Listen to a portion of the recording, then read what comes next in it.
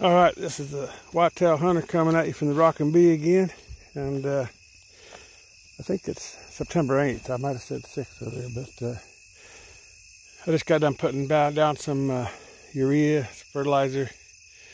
This field here is Alfa-Rack Plus, but I it uh, got a lot of weeds in it, but there's tons of clover and alfalfa and chicory in it, but there's so many deer in it. I didn't want to cut it or spray it because they might jump out of there and get on the brassicas. But uh, this side over here, just up to this tree here, this was all uh, beets and greens from Whitetail Institute. And it goes all the way around this field down the other side. And this was spots where it came in. Now we had a light rain, but then we had a really heavy rain. And uh,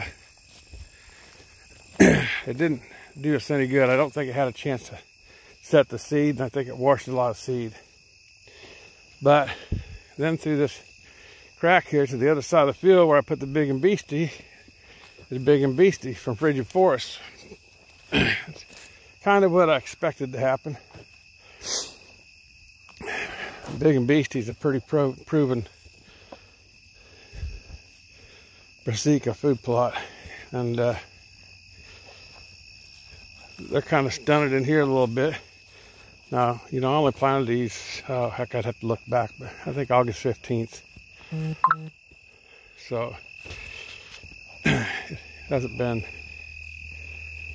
too awful long, but, you know, I wanted to get up a little bit. And I had some urea left over and some 13, 13, 13. I just threw what I had left on here. The problem was with that heavy rain was it kind of patched up my seeds a little bit over here, but I mean, they're,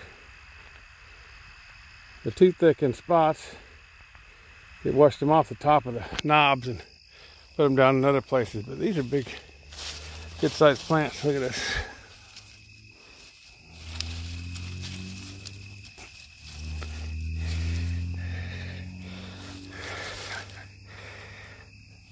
And throwing that fertilizer on there now they're just gonna blow up.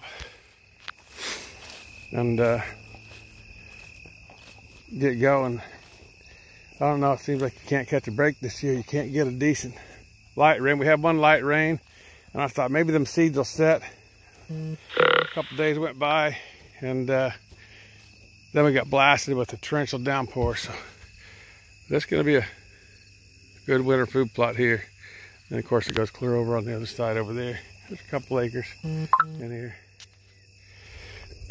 anyway, so that goes the battle between the Big and Beasty and the Whitetail Institute Beets and Greens for right now. Looks like the Big and Beasty's big and beastie. Proofs in the pudding. Yes, sir. Anyway, Whitetail Hunter, we're going to back on out of here today. You guys have a good evening.